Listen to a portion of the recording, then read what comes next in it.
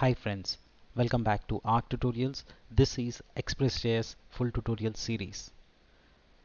When we work with Express.js or we are trying to build a mean stack application, the M in the mean stack stands for MongoDB. Even if you're not using mean stack, if you want to work dynamically with Express.js and Node.js, you'll need to work with a database system that database can be anything. It can be ms sql server it can be mysql it can be mongodb it can be rds can be dynamodb can be documentdb anything. But i'm going to show you some examples and live projects with mongodb and mysql. I'll start with mongodb first and hence the introduction to mongodb this in this part. Later towards the other series end we will cover MySQL as well and the CRUD operations for that. So stay tuned for that as well. But for this particular episode, let's get started with introduction to MongoDB. This is part 15 of the Express.js full tutorial playlist. Make sure you have gone through all the previous episodes so that you have continuity in your learning. Today we are focusing on introduction to MongoDB, but there are a lot of other interesting cool things we are going to do with MongoDB in terms of connecting CRUD operations, get, post, put, delete, and much, much more. On the same lines, we will do the same with MySQL database so that you get confidence that you can work with any database system down the line when you are given with Express or Node framework. Alright, so what is MongoDB? MongoDB is a document database with the scalability and flexibility that you want with the querying and indexing that you need. It sounds like a big jargon, but trust me, it's just a JSON documents that you store, which is easy. There is no schema, but it's a JSON document which you store so that it, it provides us flexibility so that we can add any kind of schema for different different documents.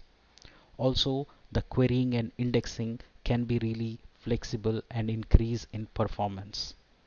A document-oriented database provides APIs or a query update language that exposes the ability to query or update based on the internal structure on the document.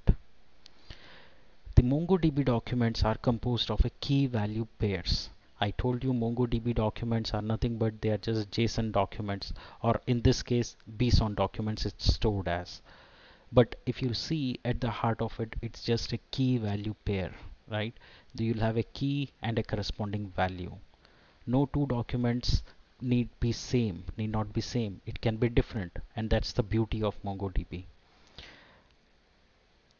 I have shown you how to install how to run and in fact I have covered much much more um, in the in the MongoDB playlist that I have covered separately. I would just like to show you.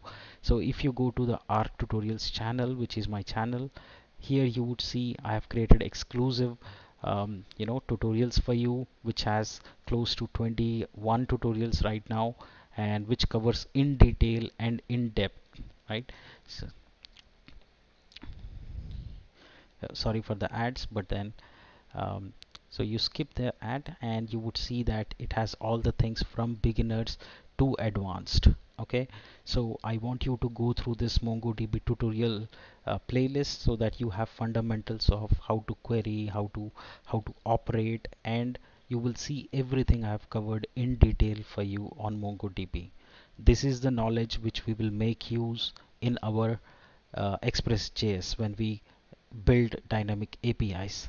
The playlist link is also in the description box below. Make sure you check it out. Make sure you check it out on my channel and do let me know if you have any doubts or queries. I'll be happy to help you.